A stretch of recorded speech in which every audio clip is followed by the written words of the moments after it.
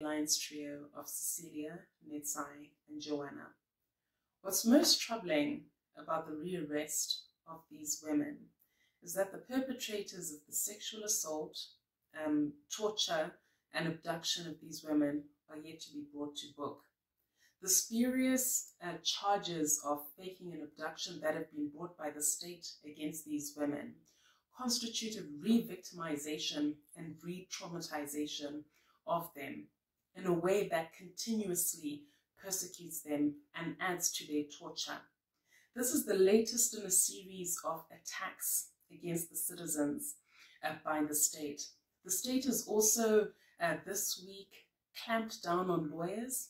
It has also issued threats against journalists, has also victimized the church issued threats against civic society and has called uh, the legitimate opposition terrorists. What we see is that the state is at war with its own citizens. What we've also seen this week is that millions have been stolen under the guise of the COVID-19 pandemic, particularly um, under the Ministry of Health with the assistance of the Ministry of Finance under the guise of the COVID-19 pandemic. Corruption continues to plague um, this government.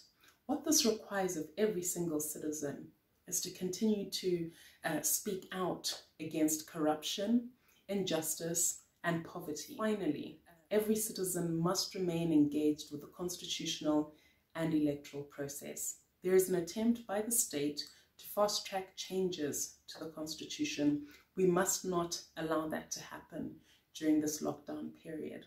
There's an attempt to stop by elections from taking place during the lockdown period. We must not allow that either. Even though the democratic space is shrinking, we must remain resolute and continue to fight to win Zimbabwe for change.